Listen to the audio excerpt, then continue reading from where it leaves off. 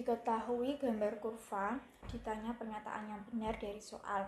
Jawab, kita buktikan pernyataan yang pertama, f aksen x itu turun jika f aksennya kurang dari 0 pada setiap x di dalam interval. Nah, saat x kurang dari 1, terlihat pada gambar bahwa f aksennya itu kurang dari 0, maka pada saat x kurang dari 1, fx-nya adalah turun. Jadi pernyataan satu benar. Kemudian pada pernyataan 2, fx naik jika f aksennya positif pada setiap x di dalam interval. Saat 0 kurang dari x kurang dari 2 itu terlihat pada gambar bahwa f aksennya lebih dari 0.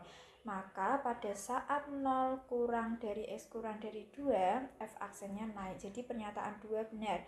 Lalu pernyataan yang ketiga, dua garis sejajar jadi grad, jika gradiennya itu sama. Nah, gradien garis singgung suatu kurva senilai dengan z aksen pada titik tersebut.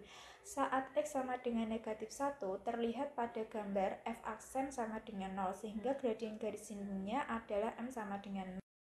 Gradien sumbu x adalah 0, artinya garis singgung kurva dan sumbu x sejajar. Jadi pernyataan 3 benar.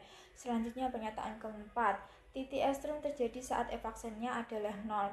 Saat x sama dengan 2 pada gambar terlihat f aksennya sama dengan 0, maka saat x sama dengan 2 terjadi titik ekstrim sehingga jawaban yang benar adalah yang E yaitu 1, 2, 3, 4 kenyataannya benar.